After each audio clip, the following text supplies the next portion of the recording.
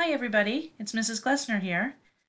This is an activity for my kindergarten students to go along with one of the drawings in your packet number two. You're going to see my hands drawing just like you do in art class when we're at school, so this should be a little bit familiar to you.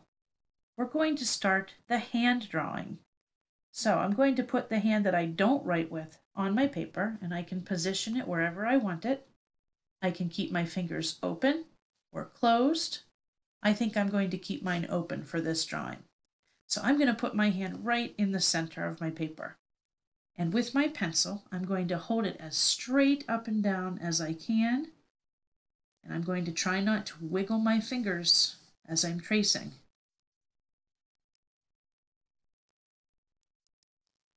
Now my hand is a little bit bigger than yours, so you're going to see mine almost touches the edge of the paper. Now, when I've gotten the whole way around, I'm going to lift my hand, and then I have this little empty spot here. I could either put my hand back and trace my arm, or maybe I just want to connect those lines. So that you can see this a little bit better, what I sometimes do for you in class is trace it with a black marker. So that's how we're going to finish this drawing today. You're going to see me drawing with the black marker. You can do that or you can use your pencil.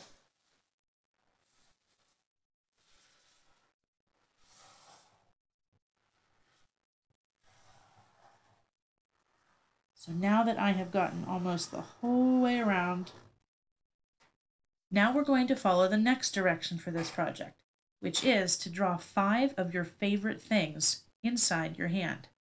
So we can think about maybe our favorite foods, our favorite animal, your favorite sport, your favorite t shirt.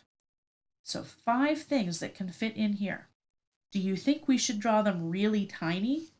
Or do you think we should try and draw them big enough that we can see the details? Let's see.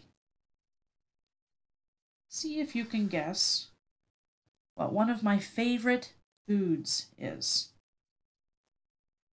What's it going to be? If you guessed ice cream, you were right.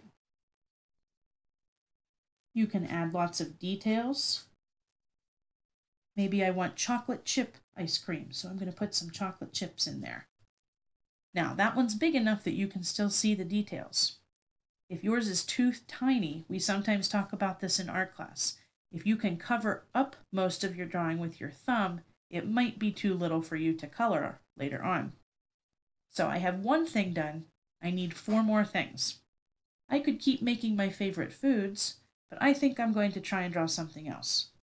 Let's see if you can guess what my favorite animal is.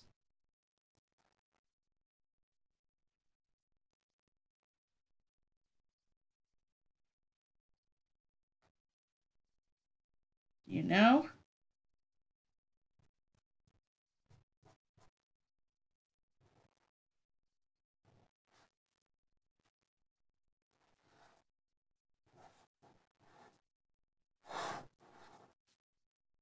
We have a little cap.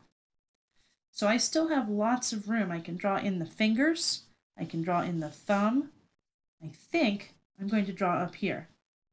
I'm going to draw one of my favorite kinds of art supplies.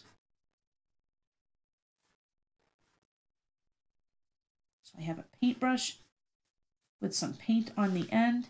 Maybe I should make a little splotch of paint down here. So one, two, three, three things. I need to draw two more.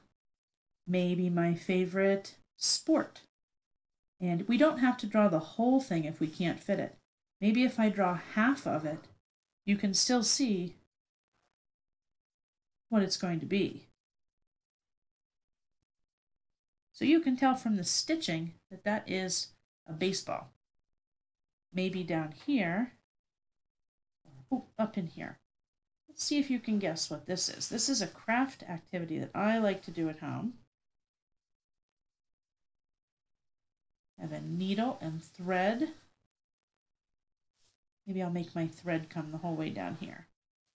And maybe I'll even draw the thread, the spool of thread. So if you know somebody who likes to sew, you would be used to seeing some of that stuff. So now that I have five objects, I can either choose to fill in my extra space, or maybe I want to design something outside of here, or we can start coloring this.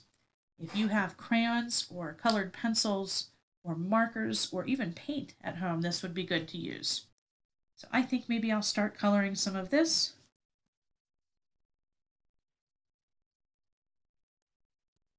You can color just the shapes. You can color the whole hand. You can make it a silly color. Maybe you want it to be striped inside of there. Maybe you want to color more in the background. Make a whole scene. That's up to you.